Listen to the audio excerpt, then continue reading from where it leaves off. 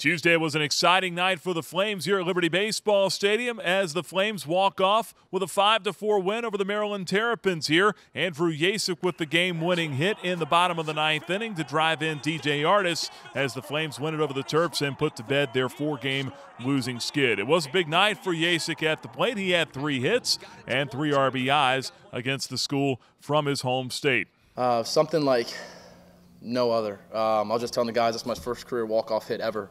Um, so it feels good, you know. It feels good just to win, especially what after um, this past weekend at Winthrop. Um, felt good beating a school like Maryland, you know, um, just getting back on the board with a W. I'm something off speed. I think it was slider. Uh, yeah, he was coming with fastballs. I think he threw me a first or second pitch slider, and I fouled it straight back, and that was a good pitch to hit too. And then he kept coming with fastballs, and I fouled the first one off, and looked at the scoreboard and thought that thought it was pretty hard. It was around 92, um, so I knew I just had to get my foot down a little bit earlier um, and just roll with it. Uh, tonight was fun, man. It was it was uh, it was a good time to come back after this weekend. It was not a good feeling in the in the stomach, so we came out here fired up, and we knew we had a we had a job to do. And so we came out fired up, and we came out with a chip on our shoulder, and we played Liberty baseball. I mean, we just played how we know how to. And like I said before, I mean, I have complete trust in my in my fielders. I mean, Dalton Britt does a heck of a job over there. It's it's easy knowing I could I could roll a ground ball and have have anyone any, any of those guys to feel the ball for me. It's awesome.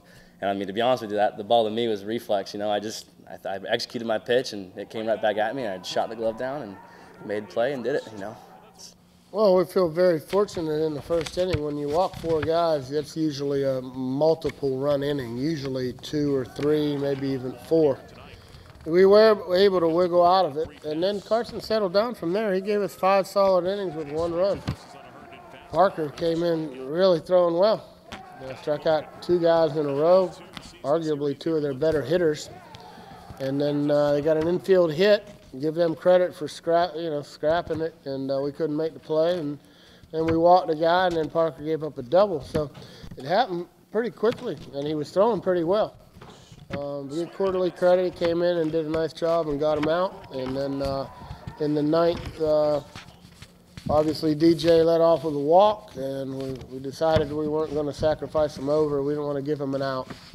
And Shepard got a hit, and then Andy had a really good at bat and fouled off multiple fastballs in the low 90s, and then uh, drilled a double to left. Well, I'm proud of the guys for fighting back after last week.